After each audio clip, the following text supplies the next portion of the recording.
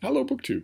Yesterday, Mark at Book Time with Elvis read you an essay uh, in that wonderful reading reading voice of his. He has a regular feature on his channel where he reads you uh, short works in the common domain. He read a short piece called Confessions of a Book Reviewer by George Orwell. Uh, and he, it was a wonderful thing. I'll leave a link to his video. And he offered very little in the way of commentary, except to mention at the end that when he was reading a piece about the life of a, of a book reviewer, he naturally thought of me because I am a book reviewer. Uh, and I, I write for newspapers and I experience books in the mail, all that sort of stuff. If you've been watching this channel, you, you already know that. I've been doing it for a long time, and before I did it for a long time, I took a long break. But before that long break, I also did it for a long time. So I have a lot of experience doing this. Uh, and I've read this piece many times. It's often anthologized, and it never fails to irritate me. Uh, and it irritated me even so when Mark read it to you. Uh, so I asked him, would it be all right with him if I read it to you as well? And then offered commentary. And he said, fine. so I hauled down my collected essays of George Orwell, Volume 4. I'm going to read you the essay, and then we're going to talk about it a bit and get this off my chest. Uh, this is Confessions of a Book Reviewer uh, by George Orwell. In a cold but stuffy bed sitting room, littered with cigarette ends and half empty cups of tea, a man in a moth eaten dressing gown sits at a rickety table trying to find room for his typewriter among the piles of dusty papers that surround it. He cannot throw the papers away because the wastepaper basket is already overflowing, and besides, somewhere among the unanswered letters and unpaid bills, it is possible that there is a check for two guineas which he is nearly certain he forgot to pay into the bank. There are also letters with addresses which ought to be entered in his address book. He has lost his address book, and the thought of looking for it, or indeed looking for anything, afflicts him with an acute suicidal impulse. He is a man of 35, but looks 50. He is bald, has varicose veins, and wears spectacles, or would wear them if his only pair were not chronically lost. If things are normal with him, he will be suffering from malnutrition, but if he has recently had a lucky streak, he will be suffering from a hangover. At present, it is half past eleven in the morning, and according to his schedule, he should have started work two hours ago. But even if he had many made any serious effort to start, he would have been frustrated by the almost continuous ringing of the telephone, the yells of the baby, the rattle of an electric drill out in the street, and the heavy boots of his creditors clumping up and down the stairs. The most recent interruption was the arrival of the second post. Mail used to be delivered more than once a day, uh, which brought him two circulars and an, in, an income tax demand printed in red, meaning well overdue. Needless to say, this person is a writer he might be a poet or a novelist or the writer of film scripts or radio features, for all literary people are very much alike, but let us say he's a book reviewer. Half hidden among the piles of papers is a bulky parcel containing five volumes which his editor has sent with the note suggesting that they, quote, ought to go well together. They arrived four days ago, but for 48 hours the reviewer was prevented by moral paralysis from opening the parcel. Yesterday, in a resolute moment, he ripped the string off it and found the five volumes to be Palestine at the Crossroads, Scientific Dairy Farming, A Short History of European Democracy, this one is 680 pages and weighs 4 pounds, Tribal Customs in Portuguese East Africa, and a novel, It's Nicer Lying Down, probably included by mistake. His review, 800 words say, has got to be in by midday tomorrow. The joke here is that the books don't go well together. They're completely dissimilar to each other.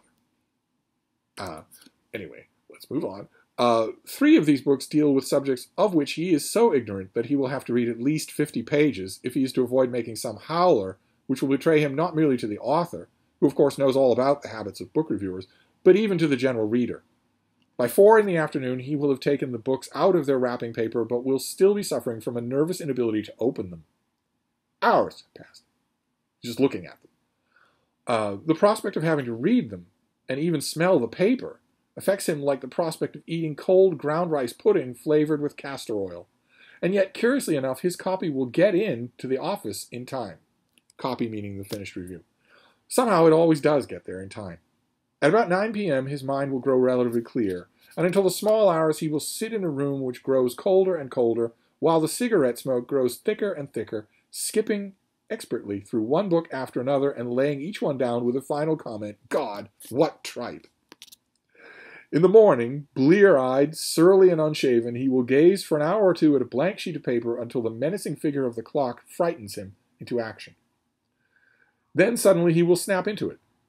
All the stale old phrases, a book that no one should miss, something memorable on every page, of special value are the chapters dealing with, etc., etc., will jump into the places like iron filings obeying the magnet, and the review will end up at exactly the right length and with just about three minutes to go.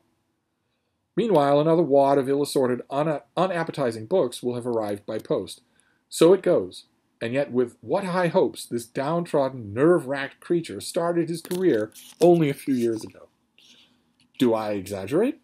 I ask any regular reviewer, anyone who reviews, say, a minimum of 100 books a year, uh, whether he can deny in honesty that his habits and character are such as I have described. Every writer, in any case, is rather that kind of person, but the prolonged, indiscriminate reviewing of books is a quite exceptionally thankless and irritating and exhausting job. It not only involves praising trash, though it does involve that, as I will show in a moment, but constantly inventing reactions toward books about which no one one has no spontaneous feelings whatsoever. The reviewer, jaded though he may be, is professionally interested in books, and out of the thousands that appear annually, there are probably 50 or 100 that he would enjoy writing about. If he is a top notcher in his profession, he may get hold of 10 or 20 of them. More probably he gets hold of two or three. The rest of his work, however conscious he may be, uh, conscientious he may be in praising or damning, is in essence humbug. He is pouring his immortal sp- spirit down the drain half a pint at a time. Often quoted from this piece. Uh, the great majority of reviews give an inadequate or misleading account of the book that is dealt with. Since the war, publishers have been less able than before to twist the tails of literary editors and evoke a paean of praise for every book that they produce. But on the other hand, the standards of reviewing have gone down owing to a lack of space and other inconveniences. Seeing the results, people sometimes suggest that the solution lies in getting book reviewing out of the hands of hacks. Books on specialized subjects ought to be dealt with by experts, and on the other hand, a good deal of reviewing, especially of novels, might well be done by amateurs. Nearly every book is capable of arousing passionate feeling. If it is only a passionate dislike, in some or other reader, whose idea about it would surely be worth more than those of a bored professional. But unfortunately, as every editor knows, that kind of thing is very difficult to organize. In practice, the editor always finds himself reverting to his team of hacks, his regulars, as he calls them.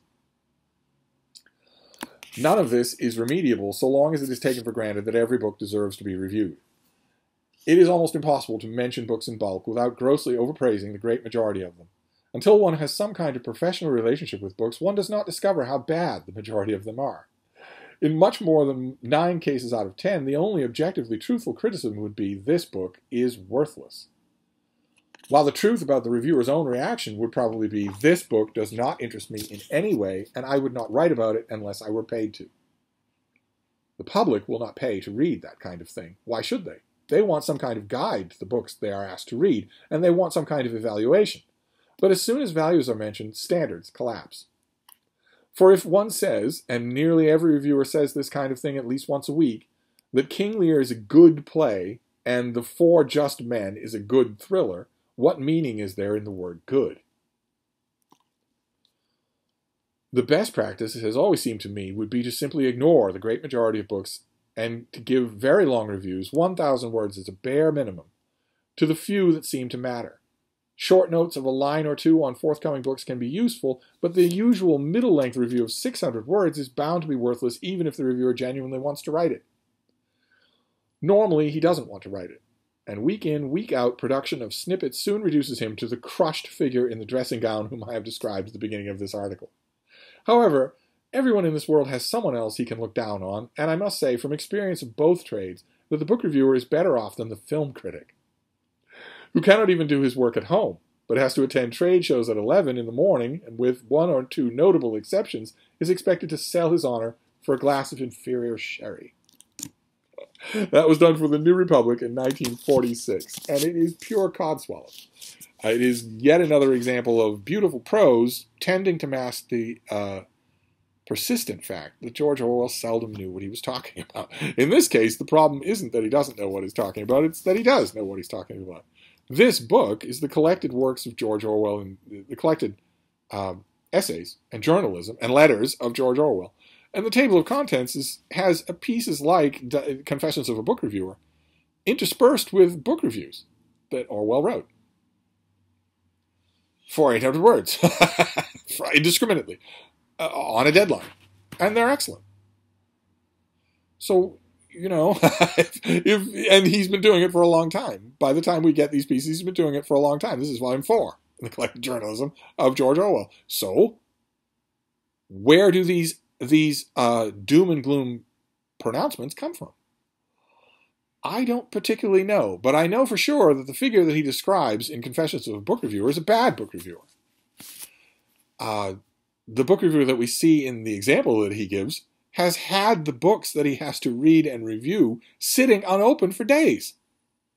So this this business about how he's hammering out cl- tired old cliches that, that uh, at the very last minute, with literally three minutes to go, is entirely self inflicted. Who says every book reviewer is like that? George Orwell? Well, only George Orwell. And George Orwell might have been like that. But a lot of book critics aren't like that. And what's wrong with having a stable of regular reviewers?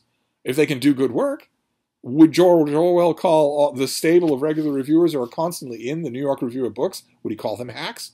Would he do it to their faces? What about himself? Writing in the New Republic. What about his his peers at the time in the 1940s when he was writing these pieces who were writing regularly for the TLS? Would call Virginia Woolf a hack? He, it's a classic straw man. He creates an image of a harried hack book reviewer who's bad at his job. He's not even examining the works that he has to review until the very last minute. He's making no effort to research or to care about what he's doing. And he turns in his copy, which is full of cliches. That isn't the way a lot of book reviewers do it. That that sets the terms of Orwell's discussion on in the way that he wants, which is that this is a miserable, miserable profession. And the reason that he does that, the reason he creates that straw man, is because he has this wild utopian idea of what it should be like. Where critics review only a handful of books, the ones that seem to matter. Who makes that decision? The critics make that decision. Orwell makes that decision. But book reviews aren't for critics and they aren't for authors. They're for those readers who he mentions want their books evaluated, want some hint, at more than just a sentence, of the, the pros and cons of the book they're considering buying. That's who your book review is for. And you don't get to determine what those people find interesting and what they don't. If, in the, the exaggerated example that Orwell gives, the reviewer could always simply refuse to say that these books go together, right? He could simply not write a piece that tries to link agriculture with a modern novel. He could not. He could refuse to write that. Uh, editors, book section editors, do often make that kind of demand. They will send uh, one of their team of hacks, one of their stable. They will send that person two books. Uh, new biography of Edna St. Vincent Millay and a collection of letters in which some of her letters appear and they'll say, as a, a, famous old New York Review of Books editor said, "See if anything can be done with these. Can you can you do something with these together? Can you make a piece out of these together?" Eh, book section editors are always looking to do that because they want to increase the number of books that they include in their sections, but they never have enough space. So a roundup piece is a mirage. It is a beautiful jeweled city on the horizon. They're always dreaming about it. It's very hard to find a reviewer who will do that and who can do it well. Uh, but they are always looking for it, and the publishing industry is always helping them to, to do that. There are almost always adjacent books that come out. Uh, I think we saw a few years ago a collection of the nonfiction of the novelist Robert Stone came out at the same time as a new biography of Robert Stone. Any book editor in the world is going to see those two and think, I'm not going to review these separately. I'm going to find someone who will review these together, and I'm going to put them both in the indicia at the top of the review. To increase the number of things I cover, I will do that. But the examples that Orwell gives in his Straw Man are ridiculous. No editor in the world would expect those things to go together. It's just designed to set up his ideal solution. But I don't like his ideal solution.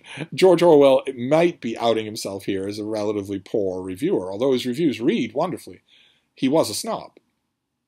Anyone who thinks there are, that there are only a handful of books, what was it, 30 a year? 30 to 100 a year that matter, that seem to matter. Anyone who thinks that is a snob. Uh, there are plenty of books that seem to matter. All you have to do is dispense with the that ridiculous word game about how the latest thriller and King Lear, if, if you call both of them good, then what does good mean anymore? George Orwell was not a child.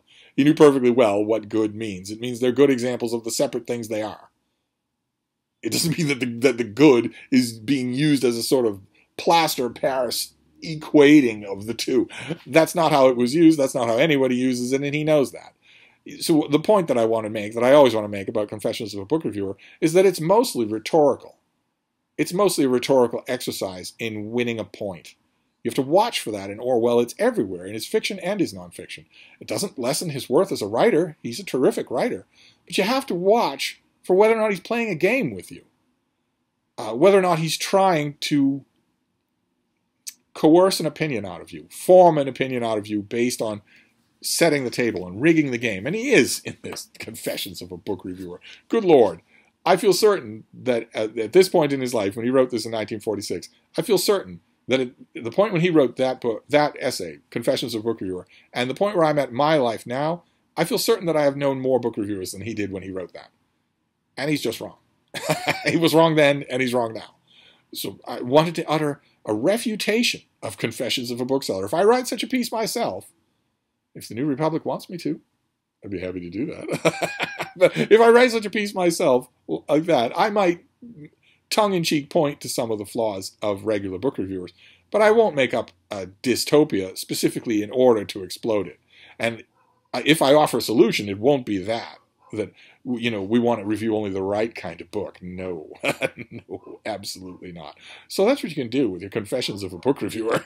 but I promise not to respond to everything that Mark reads to you. I just couldn't let this one go. Uh, but I'm gonna I'm gonna wrap this up for now. But I'll be back. Thank you, BookTube.